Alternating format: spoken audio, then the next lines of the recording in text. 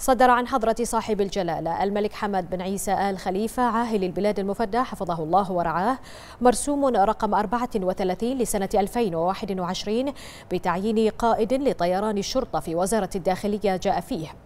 يعين العميد علي محمد جاسم الكبيسي قائدا لطيران الشرطة بوزارة الداخلية بدرجة مدير عام.